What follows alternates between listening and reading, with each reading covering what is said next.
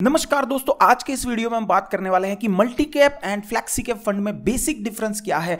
इसके अंदर में किसमें ज़्यादा रिस्क है, किसके अंदर में ज़्यादा रिटर्न मिलने वाला है, आप अपने पोर्टफोलियो के अंदर किससे अलोकेट कर सकते हैं, या कौन सा म्यूचुअल फंड स्पेसिफिकली आपको पसंद करना चाहिए, सारी चीज़ डिटेल में बताने वाला हूँ। साथ में आपको यह भी बताऊँगा दोनों फंड को कंपेयर करके कि पिछले तीन साल, पाँच साल में कौन से फंड ने कितना परफॉर्म किया, कितना परसेंट ज़्यादा रिटर्न जनरेट करके दिया है। तो ये सारी चीज़ आपको इस वीडियो वीडियो के अंदर मिलने वाली है। बट आपको एक छोटी सी रिक्वेस्ट है कि अगर वीडियो पसंद आएगा तो लाइक किए बिना बिल्कुल मत जाना इस वीडियो को। चलिए फटाफट से शुरू करते हैं। सबसे पहले यहाँ पे हम जानते हैं कि इक्विटी एक्सपोजर कितना रहता है। ये बेसिक एक डिफरेंस है जो आपको समझना चाहिए। Equity exposure equity exposure equity का मतलब क्या होता है? इक्विटी का मतलब होता है कि शेयर्स के अंदर, यानी कि स्टॉक मार्केट के अंदर ये दोनों फंड ने कितना अलोकेशन है, कितना अलोकेशन का प्रावधान है।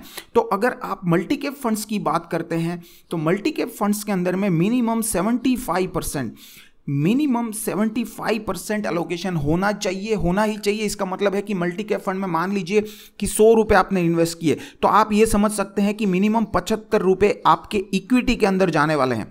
इक्विटी फंड के अंदर जाने वाले हैं, यानी कि स्टॉक मार्केट स्टॉक मार्केट के अंदर डायरेक्टली इन्वेस्ट होने वाला है। जबकि फ्लैक्सी के फंड की बात करें तो यहाँ पे ये रेशियो है 65 परसेंट मिनिमम अलोकेशन यानी कि अगर आपने सौ रुपए इन्वेस्ट किए हैं यहाँ पे तो आप ऐसा समझ लीजिए कि आपके जो पैंसठ रुपए हैं मिनिमम पैंसठ रुपए, ये आपके जाने वाले हैं इक्विटी के अंदर, यानी कि स्टॉक मार्केट के अंदर में।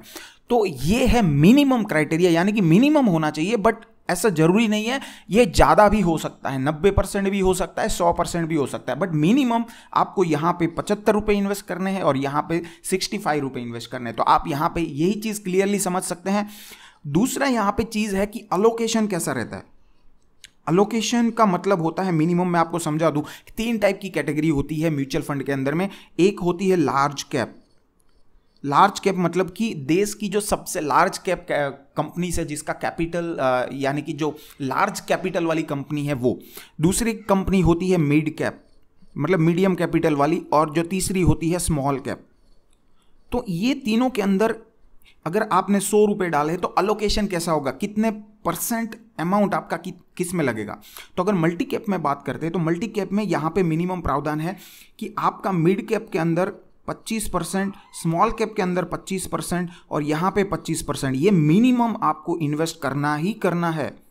ठीक है? इसमें कोई ये नहीं है। आपको पच्चीस रुपये यहाँ पे डालने ही डालने हैं। अगर सौ रुपये आपके पास है, तीनों में आपको मिनिमम पच्चीस पच्चीस डालना है। अब बाकी के जो पच्चीस रुपये बचे हैं, उसमें आप खेल सकते हैं। आप यहाँ पे तीस परसेंट भी लगा सकते हैं या चालीस परसेंट भी कर सकते हैं। वो आपके ऊपर है। बट आपको ये पच्चीस पच्चीस का अलोकेशन बिल्कुल करना पड़ेगा। अब यही केस अगर आप यहाँ पर देखेंगे सिंपली हम लोग फ्लैक्सी कैप में बात करें कि large cap, mid cap and small cap. तो यहाँ पे ऐसा कोई प्रावधान नहीं है। आप इसमें जो सौ रुपये है, इसको कैसे भी आप डाइवर्ट कर सकते हैं। मान लीजिए सिक्सटी रुपये मैंने यहाँ पे डाल दिए मैंने बीस रुपये यहाँ पे डाल दिए और बाकी बचे बीस रुपये मैंने यहाँ पे डाल दिए। कोई ऐसा बोलेगा, नहीं, मैं, ये बहुत ज़्यादा रिस्क है, मैं अस्सी रुपये यहाँ पे डाल देता हूँ, बाकी दस दस यहाँ पे डाल देता हूँ। आप कैसे भी खेल सकते हैं। तो यहाँ पे जो फंड मैनेजर है फंड मैनेजर के पास में पूरी की पूरी फ्लैक्सिबिलिटी रहती है कि उसको पैसा कहाँ लगाना है। बट यहाँ पे ये चीज़ नहीं रहती यहाँ पे आपको मिनिमम 25-25 रुपए अलग अलग अलोकेट करने ही पड़ेंगे। अब यहाँ पे रिस्क क्या आता है? बहुत बड़ा रिस्क एक आता है। रिस्क क्या आता है मैं आपको बताता हूँ। अब यहाँ पे बात कर लेते हैं रिस्क की। मान लीजिए कोविड का टाइम आया। कोविड के टाइम में आपने देखा होगा कि मार्केट बहुत तेज़ी से गिरा। अब यहाँ पे अगर आप देखेंगे ना, मार्केट जब भी गिरता है, सबसे ज़्यादा इफ़ेक्ट यहाँ पे होती है। ये जो स्मॉल कैप कंपनीज़ है ना, small cap and mid cap, यहाँ पे होती है। अगर मान लीजिए लार्ज कैप एक परसेंट गिरता है तो ये मान लीजिए दो परसेंट गिरेगा और ये चार परसेंट गिरेगा। ऐसा करके गिरता है। तो इस टाइम पे, इस टाइम पे क्या होगा? जब मार्केट बहुत तेज़ी से गिर रहा है, तब ये बंदा ये जो फंड मैनेजर है मल्टी कैप वाला, वो ये पच्चीस रुपये को कुछ नहीं कर पाएगा। ये पैसा ऐसे के ऐसे रहने देना पड़ेगा उसको। ठीक है? तो उसका जो मार्केट गिरेगा, ये 25 परसेंट, चार परसेंट गिरेगा, ये 25 परसेंट, दो परसेंट गिरेगा। लेकिन यही केस में अगर फ्लैक्सी कैप में आप देखेंगे तो मान लीजिए यहाँ पे उसने 60 परसेंट इन्वेस्ट की है मार्केट गिरना चालू हुआ तो वो क्या करेगा? वो 60 परसेंट को निकाल के वो लार्ज कैप में डाल देगा। मतलब सारा का सारा पैसा, हंड्रेड परसेंट पैसा वो लार्ज कैप में डाल देगा, ताकि उसका जो मार्केट गिरेगा, वन परसेंट ही गिरेगा। और जब उसको पता चलेगा कि मार्केट अभी बॉटम लेवल पर आ गया तेज़ी से ऊपर जाना चालू हुआ है, वो जो ये सौ परसेंट है, उसको यहाँ पे डाइवर्ट कर देगा। मान लीजिए पचास इधर कर दिया, पचास इधर कर दिया। तो यहाँ पे उसको ज़्यादा रिटर्न मिलने की संभावनाएँ बढ़ जाती है। यही है फ्लैक्सी कैप के अंदर में फ्लैक्सिबिलिटी ज़्यादा है, इससे ज़्यादा रिटर्न मिलने की संभावनाएँ बढ़ जाती है और फंड मैनेजर के पास पूरी फ्लैक्सिबिलिटी आ जाती है। चलिए अब रिटर्न की भी बात कर लेते हैं। ये बहुत ही इंटरेस्टेड टॉपिक है। अब रिटर्न कहाँ पे ज़्यादा मिलेगा? अब यहाँ पे मैंने आपको जो डिफरेंस समझाया, यहाँ पे और यहाँ पे, ये जो रिस्क वाला जो मतलब समझाया तो इससे तो आपको एकदम आइडिया लग जाना चाहिए कि यहाँ पे ज़्यादा फ्लेक्सिबिलिटी है। यहाँ पे ज़्यादा फ्लेक्सिबिलिटी है, वो कभी भी ऊपर नीचे कर सकता है, जहाँ पे भी मार्केट अब जा रहा है, वो उस पर्टिकुलर कैटेगरी के अंदर, या पर्टिकुलर फंड के अंदर स्मॉल कैप ले लीजिए या मिड कैप ले लीजिए, अगर वहाँ पे मार्केट ज़्यादा मूव कर रहा है तो उसके पास पूरी फ्लेक्सिबिलिटी होती है कि वो पूरा पैसा जो है वो यहाँ पे डाइवर्ट कर दे। तो अभी आप ही समझ सकते हैं कि यहाँ पे फ्लेक्सिबिलिटी ज़्यादा है, इसकी वजह से यहाँ पे आपको हायर रिटर्न मिल सकता है।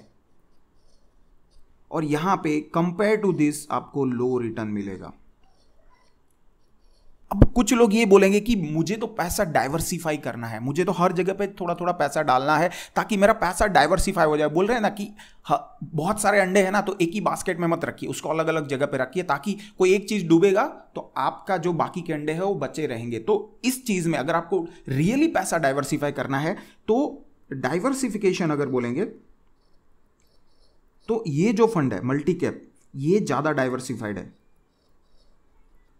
क्यों ज़्यादा डाइवर्सिफाई है? क्योंकि यहाँ पे जो ये 25-25 परसेंट मैंने आपको बताया ना, इसको ये फंड मैनेजर टच नहीं कर सकता है। उसके अंदर कंपनियाँ ज़रूर ऊपर नीचे कर सकता है, लेकिन इसको टच नहीं कर सकता है। अलोकेशन 25 परसेंट ही रहेगा। तो ये ज़्यादा डाइवर्सिफाई है, ठीक है? और फ्लैक्सी कैप इसके अंदर डाइवर्सिफिकेशन इसके लिए नहीं है कि मार्केट की मूवमेंट के हिसाब से ये जो परसेंटेज है, ये अप डाउन कर सकता है फंड मैनेजर इसके लिए ये लेस डाइवर्सिफाइड है। तो अगर आप अपना पैसा डाइवर्सिफाई करने का सोच रहे हैं तो आपको मल्टी कैप के अंदर में पैसा डालना चाहिए, ठीक है? यहाँ पे पैसा डालिए मल्टी कैप के अंदर।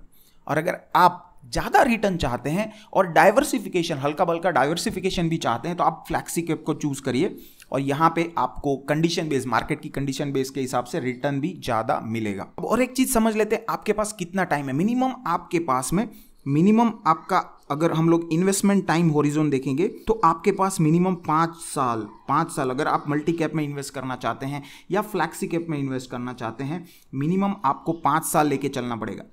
ठीक है? पाँच साल का अगर आपका इन्वेस्टमेंट हॉरिजोन है, तभी आप इसमें इन्वेस्ट करिए, तभी आपको एक अच्छा रिटर्न देखने को मिलेगा। दूसरी चीज़ यहाँ पे देखते हैं कि टैक्स कैसा लगेगा। टैक्स रिजाइम कैसा लगेगा? तो देखिए, दोनों में सेम टैक्स लगता है। कोई भी डिफरेंस नहीं है। अब टैक्स कैसे लगेगा वो मैं बता देता हूँ। अगर आपने अपना पैसा लेस देन वन ईयर निकाल लिया तो आपको यहाँ पे फिफ्टीन परसेंट पैसा मतलब टैक्स लगेगा। ओवरऑल जो आपका कैपिटल गेन हुआ है उसके ऊपर। ठीक है? ये दोनों में सेम है। और अगर आपने ग्रेटर देन वन ईयर यानी कि एक साल के बाद आपने पैसा निकाला तो आपको टेन परसेंट देना पड़ेगा कैपिटल गेन के ऊपर। बट यहाँ पे आपके पास में एक लाख रुपए तक की छूट होती है। यानी कि एक लाख कैपिटल गेन अगर आपका होता है तो आपको यहाँ पे कुछ नहीं देना। अगर एक लाख से ऊपर, मान लीजिए दस हज़ार रुपये एक लाख दस हज़ार रुपये का प्रॉफिट हुआ आपको तो ये जो दस हज़ार है, इसी के ऊपर आपको टेन परसेंट यानी कि हज़ार रुपये का टैक्स लगेगा। ठीक है? तो ये जो टैक्स स्लैब है, ये दोनों के लिए सेम है। यहाँ पे भी सेम है, यहाँ पे भी सेम है। चलिए, अब देख लेते हैं रिटर्न किसमें ज़्यादा मिलेगा। तो यहाँ पे मैं दो एग्जांपल ले रहा हूँ ICICI Prudential multi cap funds जो आपको यहाँ पे दिख रहा है और दूसरा फ्लैक्सीकैप फंड कैटेगरी के अंदर कैनरा रोबेको फ्लैक्सीकैप फंड्स को ले रहे हैं। हालाँकि ये फ्लैक्सीकैप कैटेगरी अभी अभी नहीं आई है, पाँच छः साल पुरानी है।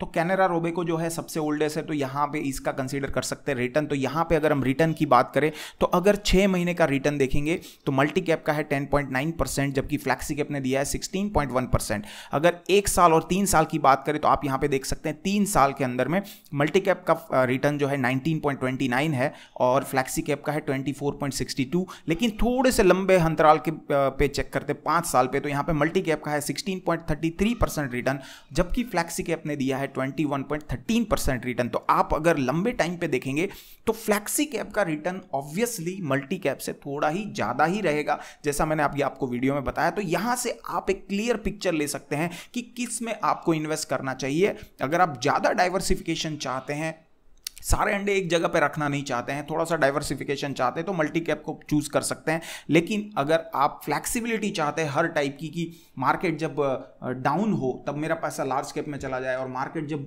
अप हो रहा हो तो मेरा पैसा जो हायर रिस्क वाले स्मॉल कैप्स और मिड कैप फंड्स है, उसमें चला जाए। तो आप ऐसी कंडीशन में फ्लैक्सी कैप को पसंद कर सकते हैं। यहाँ पे आपको रिटर्न मल्टी कैप से चार पाँच परसेंट ज़्यादा ही देखने को मिलेगा। तो आशा करता हूँ इस वीडियो के अंदर आपको सारी दुविधा आपकी क्लियर हो चुकी होगी। और भी कुछ डाउट है तो मुझे कॉमेंट बॉक्स में ज़रूर बताइए।